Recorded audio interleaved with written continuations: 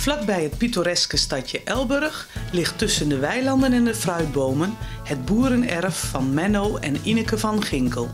Op de plaats van hun voormalige varkenshouderij bouwden ze een plek om tot rust te komen in het thema van het boerenerf.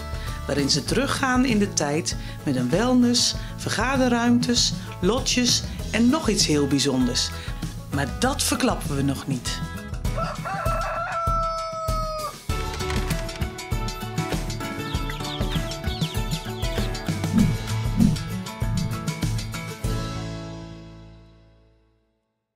Benno en Ineke, een heerlijk ontbijt in een hooiberg. Nou, we zijn begonnen met dat pannetje wat we voor onze neus kregen. Ja. En dan til je het dekseltje op en dan zit er een heerlijk eitje in. Een bakje yoghurt met fruit. Broodjes. Komen nu alle gasten hier ontbijten? Nee, zeker niet. Minimaal. Men kiest er over het algemeen gewoon voor de ontbijtmand aan de deur van de accommodatie. Oh, wat leuk. Een, een mand waar ook eigenlijk alles in zit wat je hier kunt eh, Ja. serveren. Alles wat hier staat zit dan in de mand en die wordt daar lekker afgeleverd. En dan kunnen ze heerlijk in badjas eh, of net wat ook, kunnen ze heerlijk ontbijten.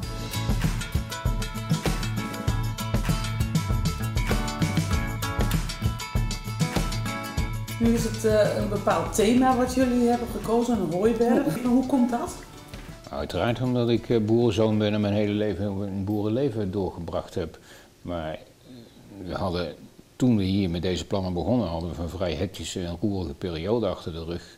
Waarbij eh, uiteindelijk het verlangen ontstond om weer dat plekje van rust te vinden wat in mijn beleving de boerderij bij mijn opa en oma was. Ja, want wat is jullie motto? Waar rust energie geeft. Alles is een beetje in het thema van de boer, boerderij. Is alles hieromheen in dit thema gebleven? Nou, dan heb je het over het boerenerf, maar we hebben nog wel een verborgen iets eh, in, het, in een stuk land van ons. En daar gaan we zo meteen een mandje brengen en dan zie je wel eh, wat we daar eh, neergezet hebben. Zo, vlaghutten. Ja, dit zijn ze dus. Dit is onze verborgen plek. Wat mooi.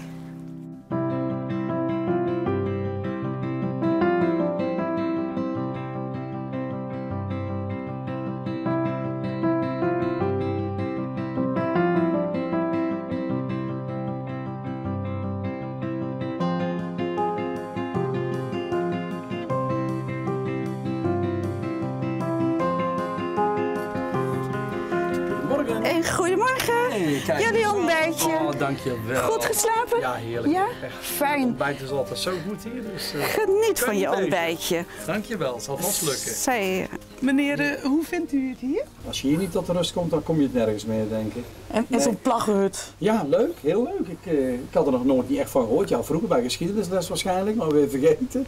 Dus dit is, nee, dit is goed toeven hier, echt waar. Het is echt een aanrader. Hoe ervaart u de rust hier? Want eh, is de schermtijd hier nul. Ja, ja, ja, je je hebt hier inderdaad, ja, je hebt geen tv of zo, je hebt ook helemaal geen wifi. Maar we vinden het helemaal niet erg. We doen lekker spelletjes, ouderwetse spelletjes. Mensen zeggen hier niet de potjekaarten en lekker lezen.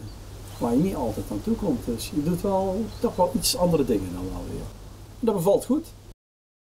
Menno, het ontstaat altijd met een idee, maar een plaggenhut, dat lijkt me niet zo heel voor de hand liggend. Hoe kom jij op het idee om een plaggenhut te bouwen? Men denkt heel vaak aan de veenkoloniën. Maar ook in deze streek hebben in het verre verleden plaggenhutten gestaan. En daar woonden naast dat er daggelders, dus de mensen die op boerderijen woonden, zaten daar ook eh, turfstekers in. In de middeleeuwen is in deze streek ook turf gewonnen. Dus uiteraard een schaapherder. Eh, mensen die in het bos woonden, dus de houthakker, en die thema's hebben wij weer teruggebracht in de plaggenhutten, omdat het juist ook een stukje geschiedenis van de streek is. Als mensen komen, staan ze verbaasd te kijken van, van, van de verschijningsvorm, van het uiterlijk. En men denkt niet direct dat alle plakkenhutten voorzien zijn van de gemakken. Dus dat er echt douchesruimte in zit, er verwarming in zit, dat er keurige bedden in zitten, et cetera.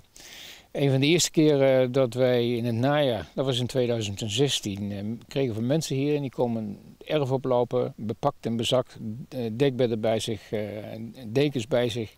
En dat ik dus vroeg van wat komen jullie hier doen? Je overnacht in een plaggenhut. Ja, maar we overnachten in een plaggenhut, dus het is koud. Zijn alle plaggenhutten hetzelfde ingericht? De plaggenzutten zijn qua bouw exact gelijk, maar in de binnenafwerking zijn ze allemaal verschillend in de kleuren, in de materialen, zodat er eigenlijk complete beleving, andere belevingswerelden ontstaan. Schaaphuttenzut herken je verbinden een vleugje paas erin, dat verwijst naar de heide. De turfstekershut zit er modderkleur in, ja, dat verwijst naar de turf. Houthakkershut zie je de bronsgroene kleur van, van, van het jonge, frisse eikenhout weer naar buiten komen. Dus zo creëer je drie verschillende werelden. Dat uh, mensen als ze hier uh, in een andere plaggenhut komen, het idee hebben van ik zit in een compleet ander gebouw. Misschien heel leuk in, zo'n, in zoiets dat... Uh, we kregen voor een paar jaar terug hier gasten. En die boekte weer voor een tweede keer dat zijn familie ver verbaasd stond dat hij weer terugkwam.